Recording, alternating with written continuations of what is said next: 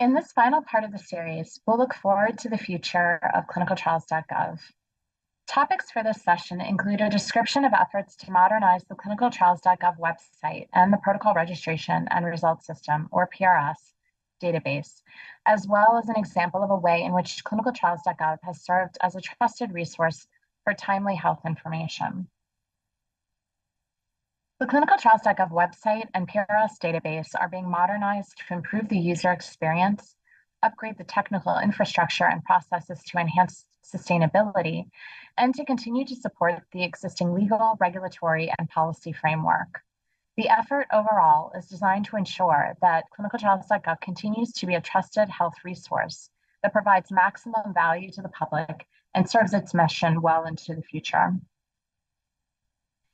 The modernization plan was designed to be carried out over five years the first year of which focused on engaging stakeholders to identify needs and to validate an approach for and specifications enhancing internal business processes to accommodate changes, and developing a modernization roadmap. We are in the midst of the implementation stage, during which we've been conducting iterative user evaluation and testing, continuing to engage stakeholders, upgrading the system infrastructure, and seeking ways to enhance compatibility of clinicaltrials.gov with the trial life cycle across all of its stages. The image to the left depicts the ways in which registration, updates to registered information, results reporting, and continued updates to the record as a whole parallel the initiation and conduct of a clinical trial, from approval of the study protocol through completion of the study and final analysis of the data. Users of the clinicaltrials.gov website and PRS database are central to the modernization effort. Our focus has been to improve the experience of patients and their advocates, data submitters, and data researchers. Prior to launching the modernization effort, we released a request for information that received over 250 responses that provided feedback on the submission of information via the PRS, website functionality, and data standards. We conducted interviews with over 70 individuals representing the three described user groups, and we reviewed wireframes and prototypes with users through multiple rounds of development. We've launched beta versions of both the clinicaltrials.gov website and the PRS database and are continuing to add new features to both. The beta sites are being developed to work in parallel with classic versions, meaning users can move from classic to beta and back to classic to ensure that their needs are fully met. Information entered in the classic PRS will be available in PRS beta and vice versa, and users can continue to access the classic sites until the beta versions are fully functional, at which time the classic sites will be retired. Updates to the beta sites are being released in an iterative fashion rather than all at once, so that users can evaluate the beta environments and provide feedback that will help us refine the final products. The primary goal of PRS modernization is to improve the record management, submission, and review workflows. The primary goal of modernization of the clinicaltrials.gov website is to provide features that are more inclusive for all users. This is a view of the record list in the classic PRS from the perspective of an administrator for an organization. Users sign in and see a list of all the records to which they have access and can search columns and select which columns are displayed, but don't have the ability to change the order of columns or apply filters to each column in the list. They also have to open a record to access contact information for users associated with the study. In PRS beta, users are presented with a more modern and intuitive design of the record list. They can email staff from the list without having to open individual records, as in Classic, they can add or remove columns from the display, but they can also change the order of the columns in the display.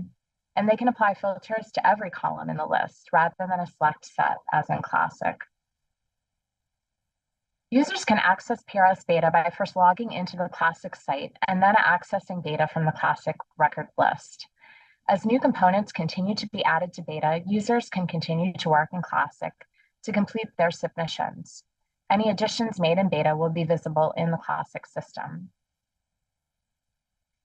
This is a view of the classic clinicaltrials.gov website. The landing page includes a great deal of information, including numerous tabs and links to resources intended to inform those accessing studies and trying to submit their own trial information for publication on clinicaltrials.gov. The clinicaltrials.gov beta landing page immediately draws focus to the basic search engine that helps patients or their advocates or healthcare providers identify studies in which they might participate. The site has a more modern look and feel is easier to use on mobile devices, has easy to understand information, and is built upon a new cloud-based infrastructure. As modernization efforts continue, interested parties can find progress updates on the Classic site's About Modernization page by attending upcoming modernization webinars or reviewing recordings and slides from, from webinars that have already taken place, or by signing up for the Hot Off the PRS email bulletin. In the final few slides, I'll describe the response of clinicaltrials.gov to the COVID-19 pandemic. A goal of modernization is to ensure that the clinicaltrials.gov website continues to serve as a trusted resource for scientific information. When it became clear that the public needed a way to quickly access information about COVID-19, clinicaltrials.gov added a link to the classic landing page that provided quick access to COVID-19 related studies. Accompanying the list of records that are generated by this search is a set of resources users can access to obtain additional information, including links to studies with the WHO Trial Registry Network, federally funded COVID-19 studies, and NIH COVID-19 treatment guidelines. As of March 2023, there were over 8,800 COVID-19 related study records registered on clinicaltrials.gov with over 7,800 COVID-19 related studies on the WHO portal. At the height of the pandemic, COVID-19 related studies were prioritized for review and publication on clinicaltrials.gov.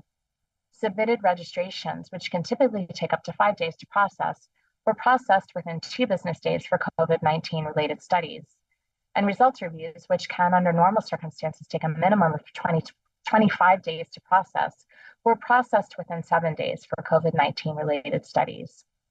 ClinicalTrials.gov also kept track of questions received from data submitters and compiled and distributed responses to top questions from responsible parties related to coronavirus.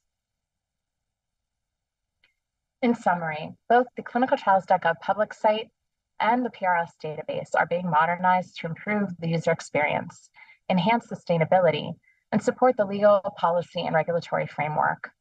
Modernization is iterative and responsive to user feedback, and modernization will help clinicaltrials.gov continue to serve as a trusted resource, as it did in response to COVID-19, by promoting access to studies and resources that are of heightened interest to the public. Now I'll ask a couple of questions to review the material that we covered. What are the three types of users that are a focus of the modernization effort? The answer, patients and their advocates, data submitters, and data researchers. The modernization effort seeks to improve the experience of all three types by improving access to studies of interest and relevant resources and facilitating the submission of trial information. What are three ways to keep up to date on the progress of modernization? The answer, by visiting the About Modernization page on the classic clinicaltrials.gov website, by attending or reviewing the Modernization webinar series, or by signing up for the Hot Off the PRS email bulletin. I hope you've enjoyed learning about efforts to modernize the clinical trials submission process via the PRS database and access to clinical trial information on the clinicaltrials.gov website. Thank you for your attention.